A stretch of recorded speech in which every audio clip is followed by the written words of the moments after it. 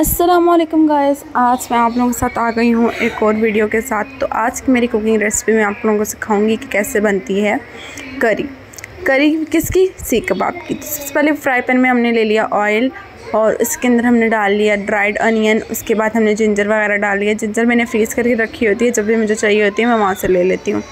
टमाटर ऐड किए तीन अदद मैंने काट के डाल दिए छोटे छोटे टमाटर थे तो मैंने वो ऐड कर दिया और उसके बाद उसको अच्छे से मिक्स कर दिया कबाब मैंने ये रखे हुए थे, ठीक है, और ये मैंने बाहर के सब रोसों के लिए हैं ये मेरे घर के नहीं हैं, ठीक है, मैंने ख़ुद नहीं बनाए हैं।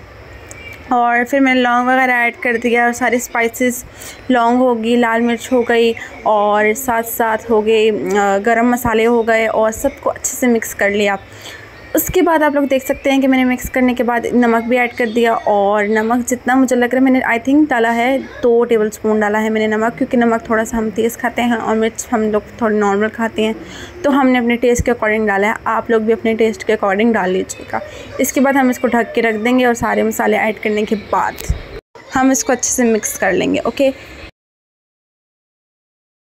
तो मैं हल्दी डालना भूल ही गई था, मैंने बाद में वो भी ऐड कर दी। उसके बाद हमने डाल दिया इसके अंदर कबाब। और इसके बाद कबाब ऐड करने के बाद हम लोग इसको ढक के रख देंगे। अच्छे से मिक्स कर लेंगे और उसके बाद हम इसको ढक के रख देंगे।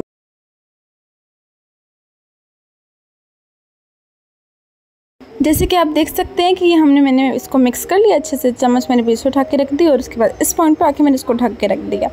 जब हमने इसका ढक्कन उठाया तो हमने इसमें ऐड क्या किया? दही।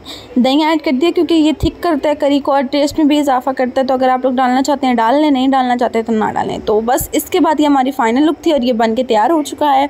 और एज़ इट इज़ हम लोग अपनी इसके ऊपर हम धनिया डालेंगे, क्योंकि प्रेजेंटेशन इज़ फ़र्स्ट हम प्रेजेंटेशन के बगैर तो हम कोई काम नहीं कर सकते।